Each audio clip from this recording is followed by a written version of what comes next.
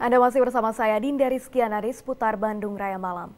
Pemirsa Kepolisian Polres Cimahi melarang para simpatisan calon bupati dan wakil bupati Bandung Barat dan calon gubernur dan wakil gubernur Jawa Barat 2018 melakukan pawai yang dilakukan dengan konvoi berjalan atau dengan kendaraan di jalan raya dalam melakukan kampanye.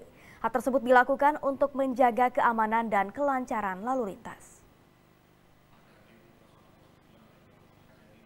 Kapolres Cimahi AKBP Rusdi Pramana Suryanegara mengatakan pihaknya dengan tegas melarang kepada semua simpatisan pasangan calon baik Pilgub Bandung Barat maupun Pilgub Jawa Barat untuk tidak melakukan konvoi massa di jalan raya menggunakan kendaraan pada saat melakukan kampanye terbuka Hal tersebut seperti yang tercantum dalam Undang-Undang Nomor 10 Tahun 2016 tentang Pilkada dan Peraturan KPU Nomor 4 Tahun 2017 tentang kampanye Pilkada, di mana larangan tersebut bertujuan untuk menjaga keamanan dan kelancaran lalu lintas khususnya di Bandung Barat dan Kota Cimahi.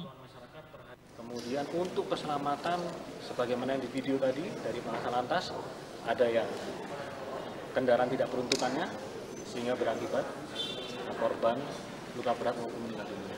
Pelanggaran-pelanggarannya yang menjadi atensi tidak menggunakan helm, terus eh, kendaraan yang tidak sesuai. Polres Cimahi telah mengundang para pasangan calon Pilkada Bandung Barat 2018 pada kegiatan deklarasi keamanan, keselamatan, ketertiban, dan kelancaran berlalu lintas.